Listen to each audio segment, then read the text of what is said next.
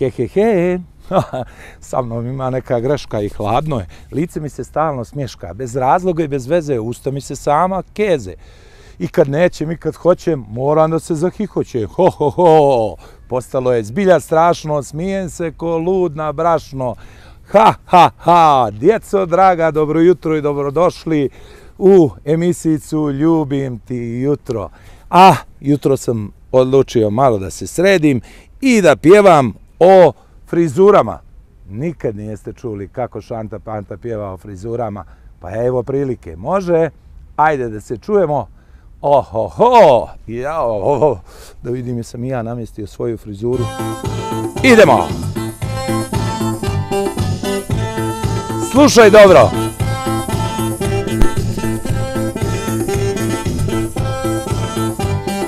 Jem, dva, tri, šest.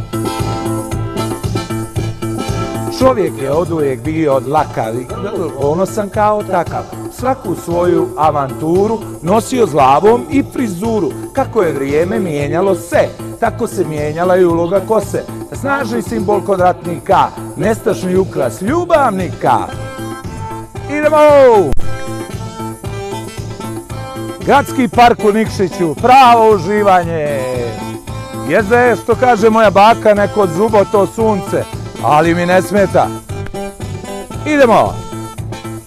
Dva, tri. Uvijek su u toj kosmatoj slavi ženi bili kovrđevi, a ćelavi su po svom liku ideju dali za periku.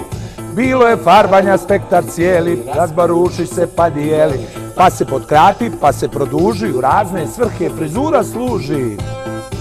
Idemo! Jedna, tri. Ohoho!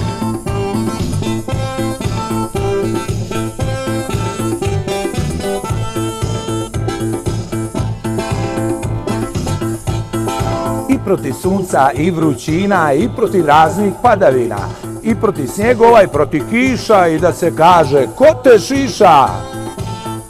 Ajmo!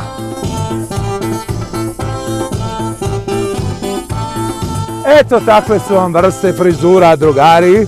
Za ovo jutro neobična priča, ali vrlo poučna. Spremite se gdje morate da idete. Oprali ste zubiće, oprali ste rukice. Nadam se da ćete i doručkovati, zar ne? Idemo ujutro.